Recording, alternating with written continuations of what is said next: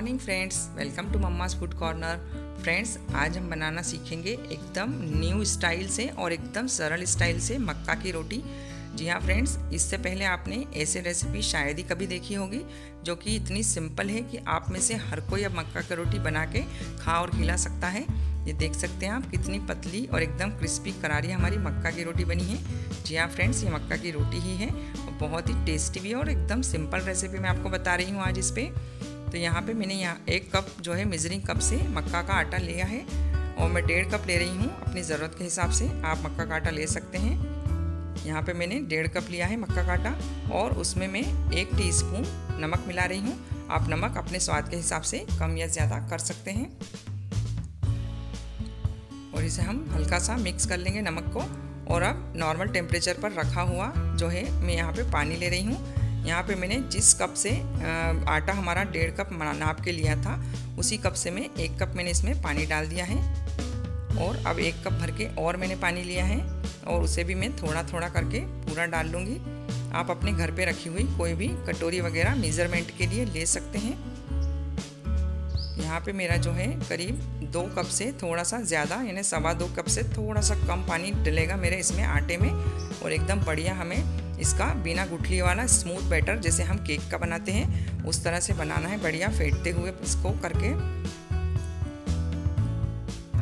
ये देखिए, दो कप पानी मेरा डल चुका है और अब ये मैंने पाव कप पानी और लिया है तो इसमें से आधा मेरा डलेगा पानी और एकदम बढ़िया हमारा बैटर बन के रेडी हो जाएगा। और ये मैं एक छोटा चम्मच ऑयल इसमें मिक्स कर रही हूँ आटे में।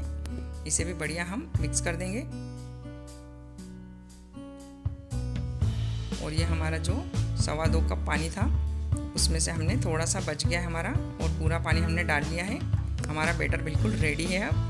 अब हम यहाँ पे मैंने एक नॉनस्टिक पैन लिया है सॉरी, नॉनस्टिक तवा लिया है और उसको हमने गर्म कर लिया है और थोड़ा सा ऑयल अच्छे से ब्रश की मदद से फैला लिया है।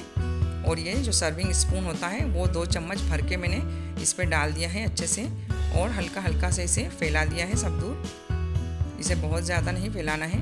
नहीं तो ये पलटने में टूट सकता है। अब एक से दो मिनट तक इसे मीडियम फ्लेम पे हमने सेकने के बाद थोड़ा सा ऑयल ऊपर भी ब्रश से लगा दिया है। आप चाहें तो बटर या घी भी लगा सकते हैं। और इसे आपके पास एकदम पतला सा सरिया हो, उससे आप धीरे धीरे इसके कोने जो है पहले लूज़ करेंगे। फिर बीच में से भी इसे हल्के हाथ से पलट देंगे ध्यान से थोड़ा सा और ये पलटने के बाद भी इसे हम मीडियम से लो फ्लेम पे करीब अच्छे से दो से तीन मिनट के लिए रोटी को बढ़िया सेकेंगे। जिससे कि दूसरी तरफ़ से भी अच्छे से सीख जाए। ये देखिए, हमारी डांसिंग वाली रोटी बिल्कुल रेडी है। अच्छे से इसे सेक ले दूसरी साइड से भी। और ये बढ़िया हमारी रोटी रेडी हो गई है बनके गर्मा गर्म ये देखिए पतली बनी है हमारी रोटी और अब इस मेथड से आप आसानी से हर कोई अब रोटी बना सकता है मक्का की। बिल्कुल भी प्रॉब्लम नहीं आएगी। इसके लिए ना ही आपको आटा गूंदने की ज़रूरत है, ना ही पॉलीथीन की, ना ही चकला बेलन की। बस फटाफट से बैटर रेडी कीजिए और गर्मा गर्म जब खाना हो तब रोटी बिल्कुल बढ़िया, टेस्टी सी और सिंपल रेडी कर सकते हैं आप। ये देखिए इसी तरह से हम हमारी सारी रोटियाँ बना के बढ़िया रेडी कर लेंगे। आप अपने पसंद के हिसाब से थोड़ी सी छोटी या थोड़ी सी मीडियम आकार की रोटी जैसे चाहे वैसे बना सकते हैं। बस बहुत ज़्यादा बड़ी ना करें, नहीं तो पलटने में दिक्कत आ सकती है। इसलिए मैंने यहाँ पे मीडियम साइज़ की ही सारी रोटियाँ बना के रेडी कर ली है।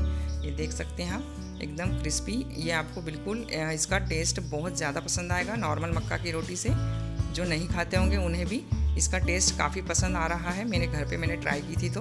तो आपके यहाँ भी आपको और सभी को बहुत पसंद आएगी ये रोटी। और फ्रेंड्स आप इसी तरह से मुझे मोटिवेट करते रहिए और मेरे चैनल को सब्सक्राइब ज़रूर कर लें। और लाइक और शेयर भी ज़रूर करें फ्रेंड्स। और आपकी कोई भी और प्रॉब्लम हो कुकिंग से रिलेटेड तो आप मुझसे कमेंट बॉक्स में शेयर कर सकते हैं। अब बस बढ़िया गर्मा गर्म रोटी पे घी या बटर डालिए और कड़ी या सूखी सब्ज़ी या किसी भी चीज़ के साथ आप इंजॉय कर सकते हैं। फ्रेंड्स, और हमेशा स्वस्थ रहिए, खुश रहिए और देखते रहिए mamma food corner. Thank you